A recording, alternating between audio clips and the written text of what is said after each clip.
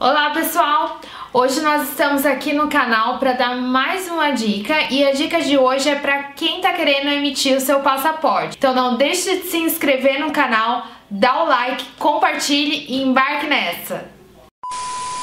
Pessoal, basicamente são os documentos que nós temos em casa, que é o RG, o CPF, o título de eleitor com o comprovante de votação da última eleição. Se a eleição teve dois turnos, você precisa levar os dois comprovantes.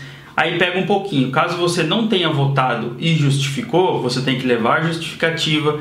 Caso você não tenha justificado, você tem que se dirigir até a Justiça Eleitoral pagar uma multa, ficar kit com a justiça, pegar uma declaração para também levar para a emissão do seu passaporte. Além disso, você também precisa levar sua certidão de casamento, caso você tenha. Atenção aqui para as mulheres, ou também alguns homens que tenham mudado de nome, só que é um pouco mais difícil.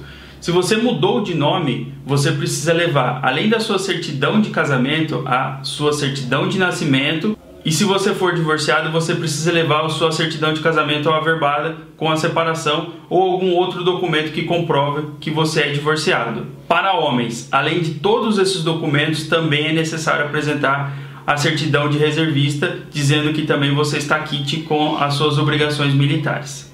E caso você já tenha um passaporte que está vencido, você também precisa levar o seu passaporte anterior ou um BO dizendo que esse passaporte foi roubado ou você perdeu. Vamos para a pior parte, que é pagar, né? Até que não é tão caro assim. Eu acho caro. Muito caro. o valor custa 257 reais e 25 centavos. O problema é que a gente paga tanto imposto que isso aí devia ser de graça. Você precisa efetuar o pagamento de uma guia. É, todas essas documentações que o Thiago falou que você tem que levar, a gente vai deixar depois o link aqui da Polícia Federal. Lá tem a listinha completa de todos os itens, todos os documentos que você precisa levar. E no site da polícia você vai ter também a guia é, que você precisa pagar, que é a GRU, que custa esse valor, ok? A emissão do passaporte, desde você começar a preencher o formulário até a entrega do documento, aproximadamente uns 45 dias quando tudo está correndo bem, tá? quando você já fez a coleta das digitais, é bem rápido, é, numa, é mais ou menos uns 8 dias corridos.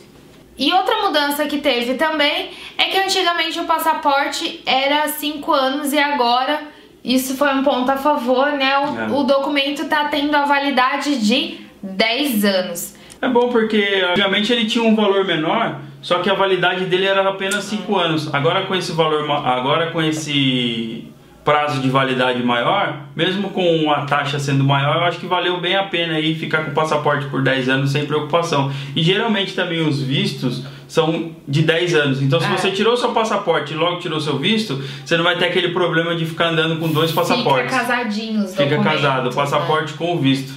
É verdade. Com tudo isso em mãos, fica muito fácil. Você apenas vai ter que preencher o formulário, que é esse que está aparecendo aí na tela de vocês. A gente vai deixar o link aqui para vocês também, tudo Sim, mastigadinho. Com o link aqui embaixo de tudo que vocês vão precisar. E aí vocês vão preencher o nome, nome do pai, nome da mãe, RG, CPF e no final ele vai ter a guia, a, a geração da guia para você pagar. Você pagando essa guia, que é a GRU de 257,25, você aguarda de 2 a 3 dias essa compensação bancária, marca a visita ao posto da Polícia Federal, você vai tirar as suas digitais, vai tirar uma foto, depois disso, de uma semana a duas no máximo, aí, uns oito dias corridos, o seu passaporte já vai estar pronto. Você retorna ao posto da Polícia Federal e retira o seu passaporte. Agora, outra informação bem importante. Na hora de retirar o seu passaporte, não adianta outra pessoa ir retirar o passaporte.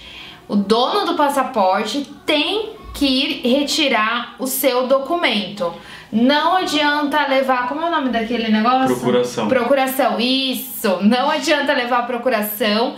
Você tem que retirar o seu próprio passaporte.